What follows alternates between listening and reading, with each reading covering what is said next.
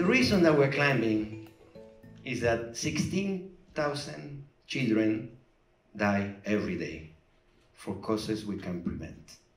We do believe in UNICEF that that number should be zero. The reason we joined UNICEF is because we saw there was an impact.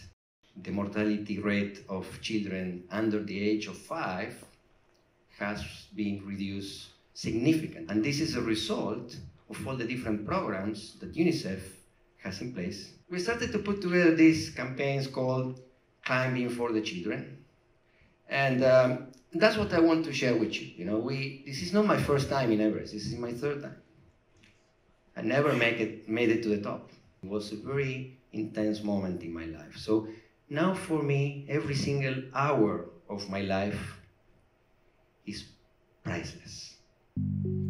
I, I think when you get so close to leave this world, you notice that, you know, you, you kind of get to the realization that tomorrow is not for granted. The opportunities to have an impact in this world are all around us. It just takes generosity and compassion. And if we all do our part, we could really change the world.